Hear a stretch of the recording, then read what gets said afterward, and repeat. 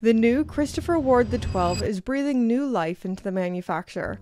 I gotta share this advert. It was in a UK magazine, stainless steel, and it's essentially a giant middle finger to the overpriced stainless steel luxury watch business. The 12 is a Genta inspired watch, it's dang good looking, and the most expensive model only costs around £1600, and that's why